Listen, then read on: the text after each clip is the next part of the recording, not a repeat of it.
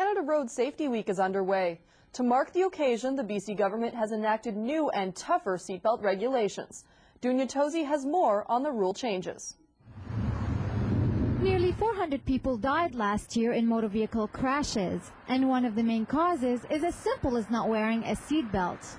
But the government is hoping to change that by implementing new and tougher seatbelt regulations starting this week.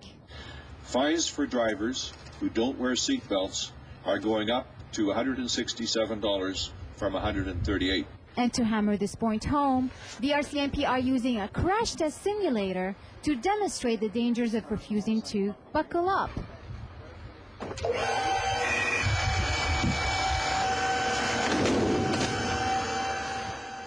So the point that we're trying to put across is that everybody gets belted in, and that if one person doesn't, there's nothing wrong with the other people saying, hey, put your seatbelt on.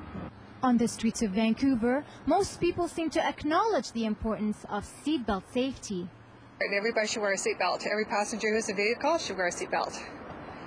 Well, they make sense, but I've been in a couple of accidents myself where they've definitely helped me and helped the occupants in my car. I didn't like them when they first came out, when they uh, were first legislated years and years ago, but I wear mine all the time now, and I think they save lives. So about 10% of the population still don't wear seatbelts, and that's causing 40% of the fatalities. And they're hoping by using the simulator everywhere uh, that this is going to encourage people to wear their seatbelts and reduce fatalities and make it a safer place for everyone. Tozy in Vancouver for BCIT Magazine.